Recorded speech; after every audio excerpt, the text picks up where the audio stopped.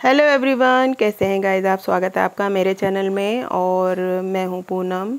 और यहाँ पे मेरी शुरुआत फिर से किचन से हो रही है। सुबह के बज रहे हैं सात और यहाँ पे मैं बना रही हूँ तोरी की सब्ज़ी, जो कि मैं आज हिंग, जीरा और प्याज, टमाटर के साथ छोंक रही हूँ।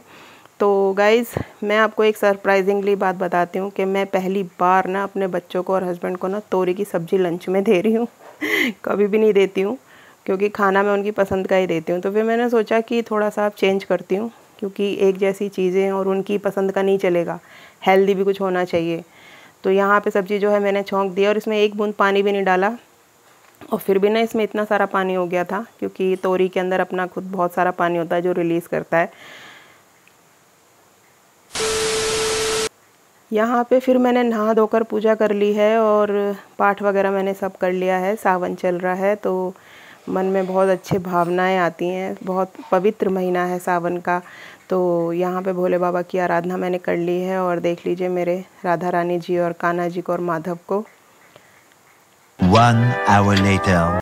फिर मैं यहाँ पर थोड़ी देर बाद ना आ गई थी किचन में और अपने लिए बना रही हूँ यहाँ पे मैं उत्तपम। मैंने सूजी को ना सुबह जब मैं किचन में काम करती हूँ तभी अपने लिए भी थोड़ी तैयारी करके रख देती हूँ। तो उसको भीगे हुए हो गए हैं डेढ़ दो घंटे। दही में मैंने इसको भिगो के रखा था अच्छे से फूल गई है। यहाँ पे मैंने गाजर, प्याज, हरी मिर्च डाल दिया, नमक डाल दिया। इसको अच्छे से मैं इसकी अच्छी कंसिस्टेंसी कर लूँगी। और यहाँ पे अब मैं इसको इनो डाल के अच्छे से फेंट लूँगी। तो मैं इसको ना कम बनाती हूँ क्योंकि मुझसे पहले ना ये ख़राब हो गया था। तो फिर मैंने सोचा, चलो आज फिर ट्राई करती हूँ बट ये लकीली अच्छा बन गया। और उत्तपम ना दो तरह से बनते हैं, जैसे ऊपर भी वेजेस डाल सकते हैं आप और इसके अंदर भी मिक्स कर सकते हैं। और मैंने इसके अंदर ही सब, सब्ज़ियाँ डाल के ना थोड़ा इस तरीके से बनाया और ये अच्छा बना। और ये खाने में भी बहुत टेस्टी था। और सूजी वैसे भी ना बॉडी के लिए बहुत अच्छी होती है तो ब्लड की कमी को पूरा करती है। और यहाँ मेरा नाश्ता तैयार है तो आप लोग भी आ जाइए नाश्ता करने के लिए। इन्जॉय. और फिर ना मैं थोड़ा लेट गई थी, लेकिन ना फिर मुझे नींद नहीं आ रही थी तो साथ ही ना मशीन भी लगा दी थी तो कपड़े धुल चुके थे तो फिर मैंने ना मैक्सी चेंज करके सूट पहना, क्योंकि मुझे ना टोकते रहते हैं सब लोग कि भाई मैक्सी पहन के ही वीडियोस बनाते हो तो फिर मैंने ना कपड़े वगैरह सब सुखाना शुरू कर दिया, क्योंकि बारिश की वजह से वैसे ही कपड़े सूख नहीं रहे तो मैंने यहाँ पर ना ये कपड़े डाल दिए हैं, और ये इनको भी दो दिन तो लगेंगे ही कम से कम, और ऐसे ही बस काम होता रहता है पूरे दिन, थोड़ा इधर उधर देख लेती हूँ, थोड़ा इधर उधर कर लेती हूँ सारे कपड़े इस पर आए नहीं थे तो फिर ना मैंने थोड़े चेयर पे भी डाले हैं। और अब देखो ये कब सूखते हैं क्योंकि थोड़ा सा ना अजीब सा लग रहा है बारिश की वजह से।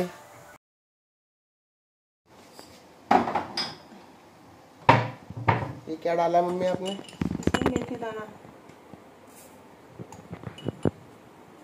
ये क्यों मेथी दाना क्यों? हेयर सीरम बनाऊँगी मेरे बाल बहुत ज़्यादा झड़ रहे हैं। बहुत ही ज़्यादा झड़ रहे हैं। तो ना, इसको फिर मैं रात भर भिगो दूँगी। और सुबह ना फिर मैं इसको पानी उबाल के और इसका एक अच्छा सा सिरम बनाऊँगी और फिर बालों में ना लगाऊँगी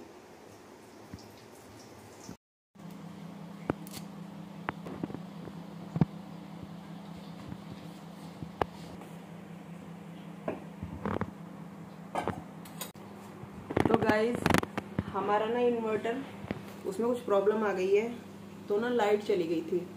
उसकी वजह से ना काफ़ी दिक्कत हो गई। और मेरी ना तबीयत ठीक नहीं है। तबीयत वैसे तो ठीक है बट मेरा ना बीपी हाई है दो दिन से। तो मुझे बड़ी दिक्कत हो रही है।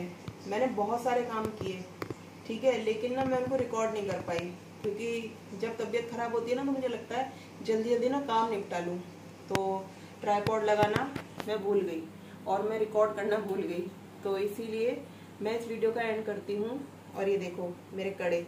मेरी भाभी आई थी ना तो वो मुझे दे के गई, पहना के गई, क्योंकि जब भी सावन लगता है ना और तीज होती है तो वो हमेशा मुझे हरी चूड़ियाँ या कड़े, अभी जैसे तीज होगी तो फिर मेरे लिए चूड़ियाँ लेंगी वो। अपने लिए लेती हैं, मेरे लिए भी लेती हैं। तो वो लोग आए थे मंडे को। और तबीयत खराब होने की वजह से ना मैं वो सब रिकॉर्ड नहीं कर पाई। क्योंकि मैंने सिर्फ़ छोले बनाए थे और आते ही ना मेरी भाभियाँ काम में लग गई। और फिर इस बीच ना मैंने कोई भी क्लिप नहीं ली। मेरा सिंदारा देने आए थे। सब लोग आए थे, मेरा पूरा परिवार आया था। तो मैंने एक भी क्लिप नहीं ली। लेकिन जब वो नेक्स्ट टाइम यहाँ आएँगे ना, तब मैं आपको ज़रूर मिलवाऊँगी उनसे। खूब अच्छा लग रहा था। सब लोग आए हुए थे, खूब भरा पूरा घर। बट एक भी क्लिप नहीं ली, क्योंकि वो आते ही किचन में लग गई थी। और हम लोग उधर बैठ के बातें कर रहे थे तो ऐसा कुछ किया नहीं। सिंदारा मेरा आ गया है। मिठाइयाँ फ्रिज में रखी हैं और शगुन वगैरह जो देखे गए थे, वो बाद में सब चीज़ें खरीदूँगी। तो गाइज़ मैं इस वीडियो का एंड करती हूँ, मैं मिलूँगी आपसे नेक्स्ट ब्लॉग में, तब तक बाय बाय टेक केयर